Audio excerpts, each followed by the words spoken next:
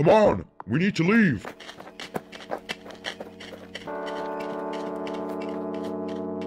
Well, don't just stand there. Go after him.